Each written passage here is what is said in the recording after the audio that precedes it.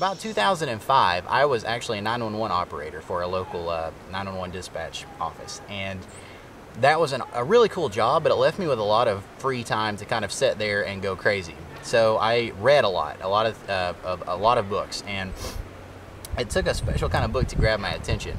I remember uh, exactly. I remember this day vividly. I was in uh, Books a Million, perusing the nature and uh, and and outdoor recreation section, and I came across a book that grabbed my attention.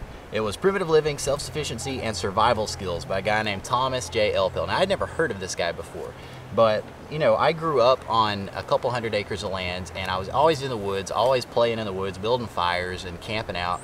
And, you know, I thought I had a real good handle on how to live in the outdoors. I mean, that's how arrogant I was, you know, six, seven years ago. I thought that I could take my knife and go into the woods and live no problem.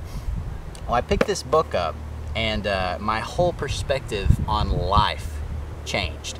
Uh, I realized that I didn't know how to do anything. I, I literally was an infant compared to the people in this book. I mean, uh, there's real. That's the best analogy I can use. I knew nothing uh, compared to these people, and you know, I, I just devoured this book. It was different than any other survival, wilderness survival related book I'd ever read. It's not a list of skills and, and how to do them. It's written kind of in a journal format and talking about the skills and why they're important and how they developed. And uh, it's just, it spoke to me on a, on a level that no other military gung ho style uh, manual ever did.